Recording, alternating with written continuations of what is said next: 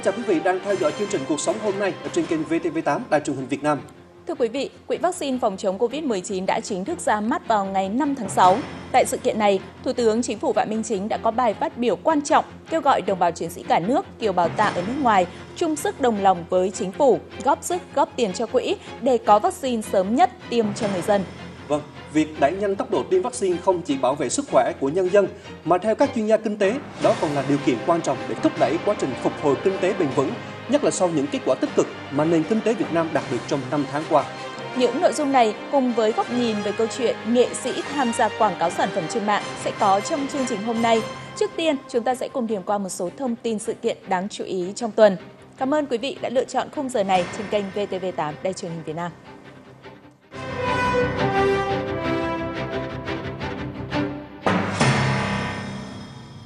Tại phiên họp thường kỳ tháng 5 vừa qua, Chính phủ đã thảo luận về công tác phòng chống dịch COVID-19, đánh giá tình hình kinh tế xã hội, ngân sách nhà nước tháng 5 và 5 tháng đầu năm, dự báo thực hiện 6 tháng và các giải pháp trong những tháng cuối năm. Tại phiên họp, Thủ tướng Chính phủ đã yêu cầu các bộ ngành địa phương cần tiếp tục phát huy tinh thần tự lực tự cường, kiên trì kiềm chế, đẩy lùi và ngăn chặn có hiệu quả làn sóng dịch lần thứ tư, đồng thời đề xuất giải pháp tháo gỡ những vấn đề liên quan đến thể chế, cơ chế, chính sách đặc biệt là đối với các cơ chế chính sách liên quan đến chiến lược vaccine, kinh tế vĩ mô. Thủ tướng cũng yêu cầu siết chặt kỷ luật kỷ cương về tài chính ngân sách, thực hiện tiết kiệm 10% chi tiêu thường xuyên, tập trung cho đầu tư phát triển. Tại buổi họp báo chính phủ thường kỳ, đại diện Bộ Y tế, Bộ Giáo dục và Đào tạo đã thông tin về tiến độ mua và tiêm vaccine phòng COVID-19 cũng như là tổ chức kỳ thi tốt nghiệp uh, trung học phổ thông những vùng bị cách ly, những thí sinh bị cách ly về y tế nếu dịch diễn biến phức tạp. Bộ Y tế được ra nhiệm vụ là phải nhập khẩu được 150 triệu ờ, liều vaccine để và tiêm được cho bảy khoảng 70% những người từ 18 tuổi trở lên. Thế thì ờ, chúng ta thì về cơ bản thì đã tiếp cận được những cái số số lượng này để có một nguồn vaccine ờ, sử dụng cho người dân Việt Nam nhanh nhất. Chính phủ cũng đã có chủ trương là khuyến khích và tạo điều kiện cho tất cả các địa phương, các doanh nghiệp mà có đủ điều kiện nhập khẩu cũng như là có nguồn vaccine. Câu hỏi vì chúng ta kiểm soát chất lượng thế nào? Tốt nhất là chúng ta phải trực tiếp mua của các nhà sản xuất, không đi qua trung gian. Bởi vì công ty trung gian họ không đảm bảo được, không có đủ cái điều kiện mà chúng ta cũng không kiểm soát được là họ có đảm bảo chất lượng không, họ có đảm bảo được điều kiện bảo quản không. Chúng tôi đang đề nghị là phải mua trực tiếp, đàm phán trực tiếp của nhà sản xuất hoặc là nhà sản xuất phải ủy quyền chính thức bằng văn bản chúng tôi phải kiểm tra theo kế hoạch thì ờ, kỳ thi này sẽ được tổ chức tổ chức vào ngày mùng 7, mùng 8 tháng 7. Và cho đến nay thì công tác chuẩn bị đã diễn ra đúng tiến độ, rất là nghiêm túc. À, trong trường hợp đến đó mà dịch diễn biến vẫn phức tạp, vẫn còn các địa phương phải giãn cách xã hội và cách ly, thì Bộ Giáo dục Đào cũng sẽ có phương án để thí sinh những vùng bị cách ly và những em bị cách ly vì y tế sẽ được thi vào đợt thứ hai Bộ Tài chính cho biết đến nay tổng kinh phí đã chi mua vaccine, mua sắm vật tư, hóa chất sinh phẩm và trang thiết bị y tế phục vụ công tác phòng chống dịch COVID-19 là hơn 8.000 tỷ đồng. Trong đó, riêng ngân sách trung ương đã chi hơn 6,1 nghìn tỷ đồng, bổ sung cho các bộ ngành mua sắm vật tư, trang thiết bị y tế và mua vaccine phòng COVID-19, hỗ trợ cho các địa phương. Bên cạnh đó, ngân sách nhà nước cũng đã chi 13,1 nghìn tỷ đồng để hỗ trợ cho trên 13 triệu đối tượng gặp khó khăn do đại dịch chủ yếu là người nghèo, đối tượng bảo trợ xã hội, người có công với cách mạng và 1,3 triệu lao động bị mất việc làm.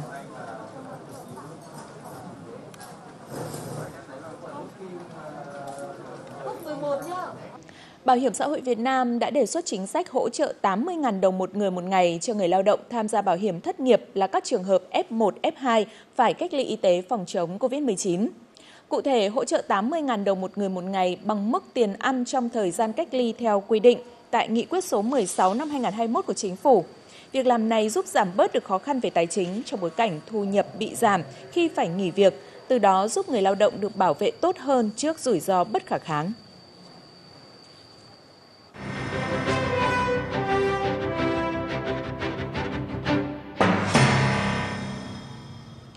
Theo tính toán của Bộ Y tế, Việt Nam cần đến 150 triệu liều vaccine để tiêm phòng cho cả nước với chi phí ước tính là trên 25.000 tỷ đồng. Đây là nguồn kinh phí rất lớn nên ngoài nguồn ngân sách nhà nước rất cần sự đóng góp của các tổ chức cá nhân trong nước và ngoài nước, cũng như là các nguồn vốn hợp pháp khác để nhập khẩu và nghiên cứu sản xuất vaccine ở trong nước. Với mục tiêu này, chính phủ đã cho phép thành lập quỹ vaccine phòng chống COVID-19 tại Việt Nam. Tại sự kiện ra mắt quỹ vaccine phòng chống COVID-19 tổ chức vào tối ngày 5 tháng 6 vừa qua, Thủ tướng Chính phủ Phạm Minh Chính đã kêu gọi và gửi lời cảm ơn tới đồng bào, chiến sĩ cả nước, kiều bào ta ở nước ngoài, các doanh nghiệp, doanh nhân, mọi tổ chức cá nhân trong và ngoài nước, những người bạn, các đối tác quốc tế của Việt Nam tự nguyện tham gia đóng góp, tài trợ, hỗ trợ cho quỹ vaccine phòng chống COVID-19 bằng kinh phí, vật chất, công sức, trí tuệ, tình cảm theo mọi hình thức ở mọi nơi và mọi lúc.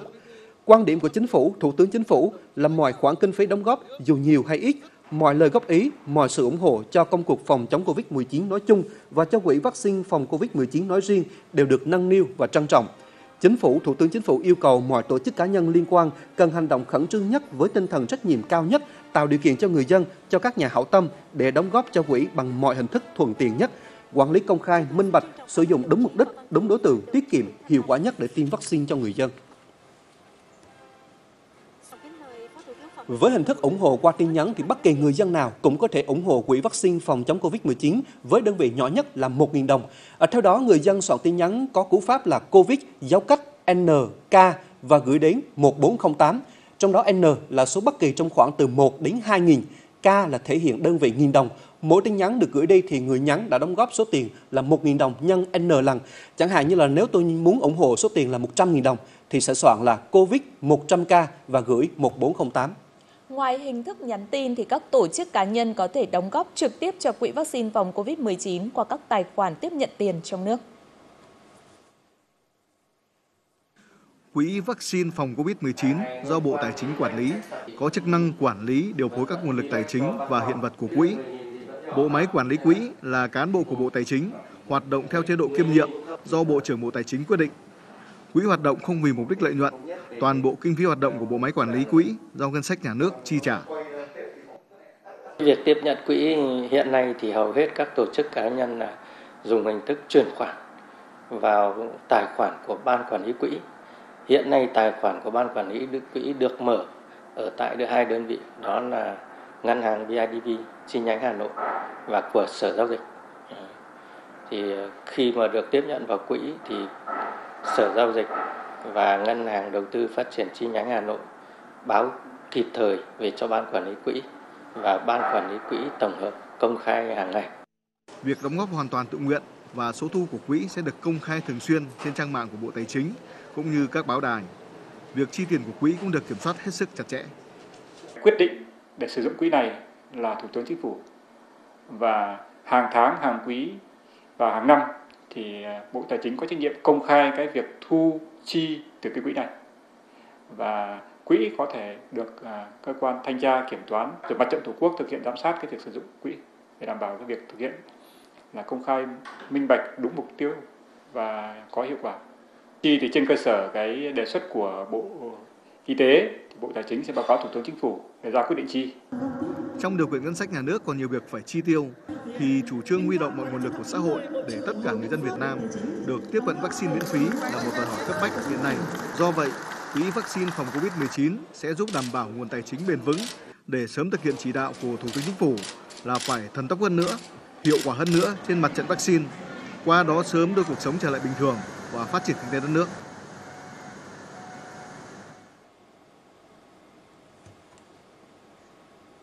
Để tạo thuận tiện cho người dân doanh nghiệp tham gia ủng hộ chương trình mua vaccine phòng COVID-19, thì Ban Quản lý Quỹ vaccine phòng COVID-19 đã mở thêm các tài khoản tiếp nhận tiền trong nước. Ngoài Sở Giao dịch Kho bạc Nhà nước và Ngân hàng Thương mại Cổ phần Đầu tư Phát triển Việt Nam chi nhánh Hà Nội, quý vị có thể ủng hộ vào tài khoản có tên là Quỹ vaccine phòng COVID-19 tại Ngân hàng Thương mại Cổ phần Ngoại thương Việt Nam và Ngân hàng Thương mại Cổ phần Phát triển Thành phố Hồ Chí Minh HD Bank. Vâng, và sau khi được thành lập thì Quỹ vaccine phòng chống Covid-19 cũng nhận được sự đánh giá cao từ các tổ chức quốc tế. Nhiều ý kiến cho rằng đây là một cách làm đột phá và sáng tạo, khơi dậy tinh thần trách nhiệm và đoàn kết của người Việt trong việc thực hiện chiến lược vaccine của Việt Nam. Quỹ vaccine phòng chống Covid-19 đã được Thủ tướng Chính phủ ban hành quyết định thành lập vào ngày 26 tháng 5. Trong bối cảnh đợt bùng phát Covid thứ tư vẫn còn diễn biến phức tạp, và Việt Nam đã đàm phán được với các hãng sản xuất quốc tế về việc sẽ có hơn 120 triệu liều vaccine trong năm 2021. Tổ chức Y tế Thế giới WHO tại Việt Nam đánh giá quỹ vaccine phòng chống COVID-19 của Việt Nam cũng tương tự như cơ chế vaccine toàn cầu COVAX mà WHO đang thực hiện, đảm bảo sự công bằng trong tiếp cận vaccine trên toàn cầu. Hành động này của Việt Nam thực sự là rất kịp thời. Tại hội nghị cấp cao toàn cầu về tài trợ cho cơ chế COVAX vừa được tổ chức, chúng tôi đã kêu gọi được các đối tác cam kết ủng hộ thêm 2,4 tỷ đô la Mỹ. Tương tự như cơ chế vaccine toàn cầu của WHO, chúng tôi đánh giá cao việc Việt Nam cũng thành lập và kêu gọi toàn dân ủng hộ cho quỹ vaccine, vừa là để Việt Nam có thêm nhiều vaccine hơn, vừa là chung tay cùng với thế giới đẩy lùi dịch bệnh này.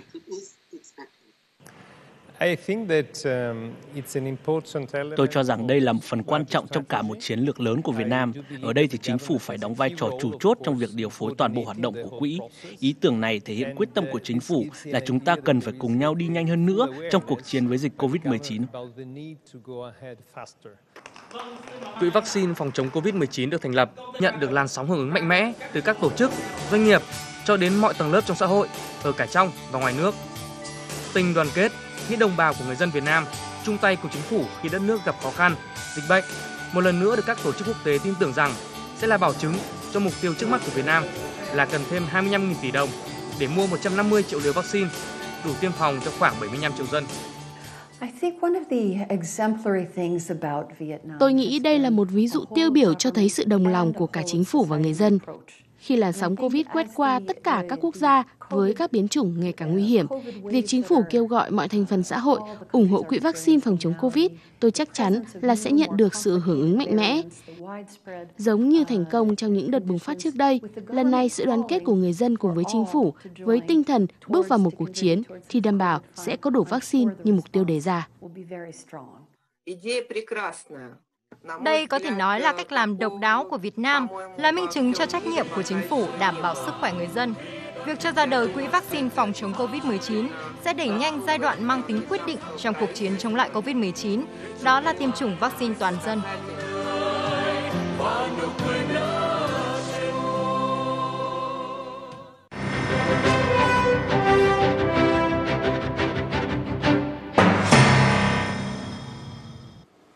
Thưa quý vị, bức tranh kinh tế 5 tháng đầu năm nay của nước ta chứng kiến những chỉ báo tích cực. Trong đó, sản xuất công nghiệp, xuất khẩu tiếp tục là điểm sáng, bất chấp những diễn biến gia tăng của dịch bệnh COVID-19 suốt một tháng qua.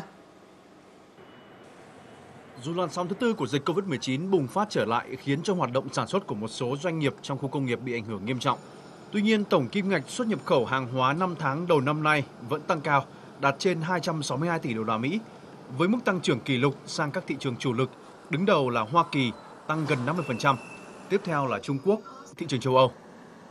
Những cái hiệp định thương mại tự do thế hệ mới có hiệu lực, các doanh nghiệp Việt Nam chúng ta tận dụng được những cái kết quả, được những cái ưu đãi của cái những cái hiệp định này trải qua một cái thời gian để thích ứng đối với những cái quy định mới nhất thông qua cái việc mà tận dụng được những quy tắc xuất xứ của Việt Nam. Niềm tin nhà đầu tư tiếp tục được duy trì. Tổng vốn FDI 5 tháng đạt khoảng 14 tỷ đô la Mỹ, Đáng chú ý trong bối cảnh dịch bệnh, thế nhưng mà vốn đăng ký mới tăng gần 19% và vốn thực hiện tăng gần 7% so với cùng kỳ. Trong đó, thu hút nhiều nhất là lĩnh vực công nghiệp chế biến chế tạo nhờ sự cải thiện môi trường đầu tư, đặc biệt là kiểm soát dịch Covid-19 tại các khu công nghiệp rất quyết liệt của chính phủ. Chúng ta đang đưa ra các cái tiêu chí đánh giá hiệu quả từ đánh giá cái đầu tư cũng như là đưa ra các cái ưu đãi đầu tư đặc biệt. Mà các ưu đãi đầu tư đặc biệt này là hướng tới các dự án về công nghệ chuyển giao công nghệ cho doanh nghiệp tham gia vào chuỗi như là có các giá trị tăng tăng cao tại Việt Nam để mà thu hút các dự án có công nghệ có những cái, cái, cái, cái, cái tổ công tác để hỗ trợ các nhà đầu tư để mà đàm phán với họ để mà đưa cái dự án này vào trong cuộc sống càng sớm càng tốt. Tuy nhiên theo nhận định của nhiều chuyên gia với khoảng 370 khu công nghiệp trên cả nước có sự liên kết trong chuỗi cung ứng toàn cầu đóng góp rất lớn cho kim ngạch xuất khẩu thì Việt Nam cần tiếp tục phát huy thành quả trong duy trì hoạt động của các doanh nghiệp nhằm ổn định kinh tế vĩ mô. Tổng số doanh nghiệp thành lập mới và doanh nghiệp trở lại hoạt động đã đạt 78.000 doanh nghiệp, tăng gần 12% so với cùng kỳ năm ngoái. Chúng tôi kỳ vọng rất nhiều vào cái quý 2 này. Đó là cái ờ, tăng trưởng IIP của công nghiệp. Trong đó có công nghiệp chế biến chế tạo. Thì lâu lắm rồi chúng tôi mới làm một cái báo cáo mà cái con số này nó trở lại hai con số và trên 10% tổng mức bán lẻ hàng hóa và tiêu dùng và dịch vụ tiêu dùng và đang tiệm cận gần đến với hai con số thì đấy là những cái tín hiệu để chúng ta kỳ vọng Trong bối cảnh dịch bệnh đứng trước nhiều rủi ro và thách thức, những chỉ số kinh tế tích cực của năm tháng qua cho thấy quyết tâm của chính phủ, các bộ ngành, địa phương, doanh nghiệp không để đứt gãy chuỗi sản xuất, duy trì nền kinh tế, đem lại của cải vật chất, đảm bảo đời sống nhân dân, kể cả khi dịch bệnh ngày càng phức tạp hơn. Từ khi dịch COVID-19 bùng phát đến nay, Việt Nam cũng là quốc gia duy nhất trên thế giới được xếp hạng tín nhiệm từ triển vọng lên tích cực. Đây là đánh giá của các tổ chức xếp hạng tín nhiệm hàng đầu thế giới như là S&P, Fitch, Moody's, dựa trên những chỉ báo kinh tế tích cực trong các tháng đầu năm, cũng như sự điều hành linh hoạt hiệu quả của Việt Nam trong ứng phó với dịch COVID-19. Xếp hạng tín nhiệm của Việt Nam được các tổ chức xếp hạng tín nhiệm quốc tế đánh giá cao qua dòng vốn FDI tăng bền vững, ổn định. Năm tháng qua, thu hút FDI đạt khoảng 14 tỷ đô la Mỹ, trong đó vốn đăng ký mới tăng gần 19% và vốn thực hiện tăng tới 7% so với cùng kỳ năm ngoái. Cùng với đó là những chính sách điều hành tín dụng linh hoạt, hiệu quả tập trung vào sản xuất kinh doanh đã kịp thời giúp cho khối doanh nghiệp trụ vững, đảm bảo chuỗi cung ứng cho bạn hàng nước ngoài. Niềm tin nhà đầu tư vào Việt Nam đang rất tốt. FDI vào Việt Nam sẽ vẫn duy trì ở mức cao. Và theo dự báo hiện tại của chúng tôi, FDI dòng sẽ ở mức 4% GDP năm 2021 và 2022. Với sự gia tăng của chu kỳ công nghệ, dòng vốn FDI ổn định và nhiều FTA, Việt Nam vẫn là một trong những nước có triển vọng tăng trưởng sáng giá nhất ở châu Á. Dù có khả năng phục hồi thị trường bên ngoài, thế nhưng mà nhu cầu thị trường trong nước đang khó khăn do ảnh hưởng của biện pháp giãn cách trong đợt dịch mới đây. Thực tế cho thấy, các chỉ số thể hiện việc đi lại của người Việt Nam đã giảm xuống, khiến cho tăng trưởng dịch vụ bị giảm sút. Thị trường lao động còn yếu nên có khả năng ảnh hưởng đến sức mua. Việc triển khai tiêm chủng mở rộng là điều kiện quan trọng để mở cửa trở lại du lịch, đảm bảo an toàn cho lực lượng lao động, khối doanh nghiệp và thúc đẩy quá trình phục hồi kinh tế bền vững. Có thể thấy một năm qua, trong bối cảnh cân đối ngân sách khó khăn thì Việt Nam vẫn có đủ dư địa chính sách để bổ sung nguồn tăng chi cho công tác phòng chống dịch bệnh, hỗ trợ doanh nghiệp và người dân bị ảnh hưởng bởi dịch bệnh. Các tổ chức tín nhiệm cũng lưu ý việc tốc độ tăng trưởng kinh tế cao có thể làm gia tăng lạm phát với mức dự báo lạm phát trung bình của Việt Nam năm nay là 3,8%. Tuy nhiên, trong ngắn hạn có thể cho phép lạm phát tăng để hỗ trợ nền kinh tế trước khi thực hiện các biện pháp kiểm soát thông qua phối hợp chính sách tiền tệ, tài khóa và giá cả.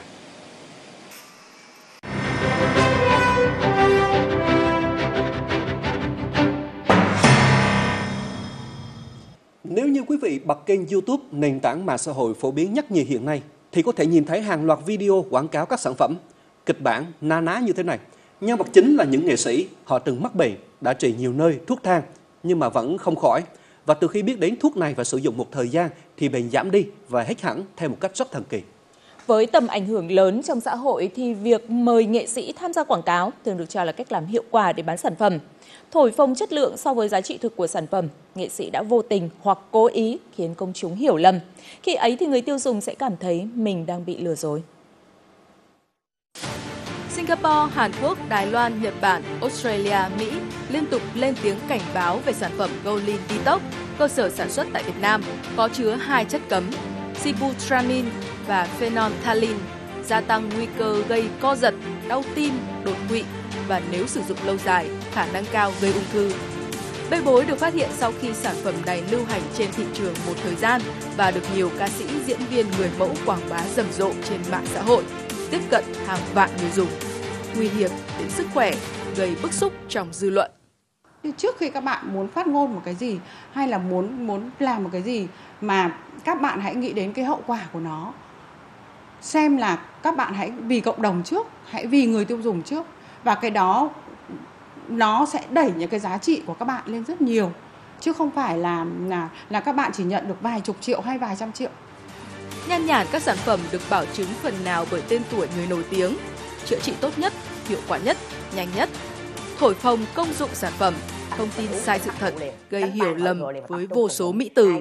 Đặc biệt với người bệnh, có thể đánh mất thời gian vàng điều trị khi đã lệ thuộc vào các sản phẩm với công dụng được đánh bóng phi lý thay vì đến các cơ sở khám chữa bệnh. Bản thân họ đã người đã có bệnh rồi mà lại không tuân thủ theo phác đồ của bác sĩ đã kê đề bệnh viện thì là họ khi dùng sản phẩm đấy thì là họ vô tình chung là cũng như là ảnh hưởng rất là nhiều đến sức khỏe tim mạch. Và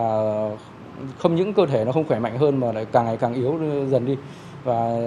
cái, cái sức khỏe tim mạch của họ cũng là yếu cũng ờ, giảm theo như trong quá trình họ dùng cái sản phẩm như vậy. Và cũng phải ờ, cần đến trợ giúp của bác sĩ.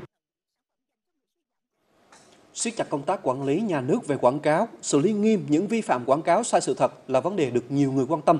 Ở trên thực tế, việc xử lý vấn nạn quảng cáo sai sự thật cũng như làm rõ trách nhiệm của các nghệ sĩ, từ đó xử lý vi phạm là một điều không đơn giản, khi hiện nay luật quảng cáo cũng như các chế tài xử phạt vẫn còn thiếu.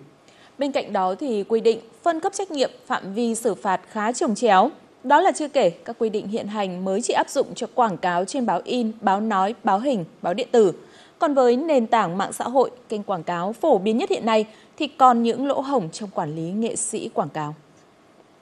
Đây là một cái sản phẩm đầu tiên và duy nhất có khả năng tiêu bệnh gút từ căn nguyên. Và tập trung mạnh gấp 70 lần nano cumin. Chỉ là thực phẩm bảo vệ sức khỏe, nhưng khiến người tiêu dùng hiểu lầm là thuốc chữa bệnh. Thổi phồng công dụng, có dấu hiệu lừa dối người tiêu dùng. Các công ty phân phối những sản phẩm này đã từng bị Cục An toàn Thực phẩm cảnh báo hoặc xử phạt hành chính. Là những người góp phần truyền tải thông tin sai lệch, các nghệ sĩ cũng không thể vô can. Đó là khẳng định của các luật sư dựa trên luật bảo vệ người tiêu dùng. Điều 13 luật bảo vệ người tiêu dùng. Cũng có một cái quy định mà nó hết sức rõ ràng. À, một bên thứ ba khi mà cung cấp những cái thông tin, những cái sản phẩm được quảng cáo thì phải liên đới chịu trách nhiệm về những cái thông tin sản phẩm mà được cung cấp đó. Thì tôi cho rằng là có đầy đủ những căn cứ pháp lý để mà ràng buộc trách nhiệm của các nghệ sĩ. Vừa như thế bởi vì sao chúng ta không có hành lang pháp lý để xử điều đó. Đấy là điều khẳng định. Chúng ta không bây giờ bây giờ không thể nào xử được theo luật bây giờ sẽ phải phạt nhãn hàng rồi phạt cái cái nền tảng ấy, cái phương tiện để truyền tải đó nhưng mà đây là đăng trên nền tảng xã hội thì chúng ta lại chưa chưa quản lý được trên thực tế có tới 3 cơ quan có quyền xử phạt. Bộ Y tế phụ trách nội dung quảng cáo, Bộ Thông tin và Truyền thông quản lý nền tảng công nghệ, còn Bộ Văn hóa Thể thao và Du lịch quản lý hoạt động quảng cáo và nghệ sĩ. Nhiều cơ quan thành ra phối hợp lại lúng túng. Đến nay chưa xử phạt được nghệ sĩ nào. Thực hiện cái hành vi bị cấm theo luật quảng cáo hoặc là quảng cáo những hàng hóa sản phẩm dịch vụ bị cấm ấy thì sẽ bị phạt hành chính theo nghị định 158 với mức xử phạt là uh, từ 50 triệu đến 70 triệu đồng. Thế còn thì nếu mà uh, cái mức độ cao nhất của cái mức phạt thì có thể lên đến 100 triệu đồng nếu như hàng quảng cáo như hàng uh, những cái sản phẩm bị cấm. Thế còn trong trường hợp ấy, mà những cái hàng hóa những cái hàng hóa sản phẩm bị cấm mà cố tình đưa lên mạng xã hội biết là sai rồi vẫn cố tình đưa lên thì còn có thể bị truy cứu cái trách nhiệm hình sự liên về cái tội là tội đưa hoặc sử dụng trái phép thông tin mạng máy tính mạng viễn thông theo điều 288 Bộ luật hình sự năm 2015. Thế còn nếu mà biết trường hợp đó là hàng giả, hàng ờ, hàng giả hàng lậu nhưng mà vẫn tiếp tay giúp sức cho các cái đối tượng buôn bán hàng giả bằng cách giới thiệu các sản phẩm đó lên mạng xã hội mà đã biết rồi thì có thể bị xử lý hình sự về tội là mua bán hàng giả cùng với các đối tượng mà buôn bán hàng giả. Xin được nhấn mạnh một lần nữa, việc tận dụng sức ảnh hưởng của nghệ sĩ để phát triển thương hiệu, quảng bá sản phẩm là nhu cầu của doanh nghiệp. Với người của công chúng, đây cũng là nguồn thu đáng kể để họ an tâm theo đuổi con đường nghệ thuật đầy thử thách lâu dài. Tuy nhiên, kiếm tiền trên sự nổi tiếng mà bỏ qua khuôn khổ pháp luật, đạo đức, ảnh hưởng đến cộng đồng là câu chuyện rất đáng bàn. Vâng, cũng đã đến lúc những người nổi tiếng cần phải coi cái việc tham gia quảng cáo cũng thực sự là đạo đức nghề nghiệp. Bởi khi vô tình tiếp tay cho những sản phẩm kém chất lượng, sai sự thật thì bản thân họ sẽ tiền mất tật mang danh tiếng, uy tín, tên tuổi xây dựng bao nhiêu năm cũng có thể không cánh mà bay.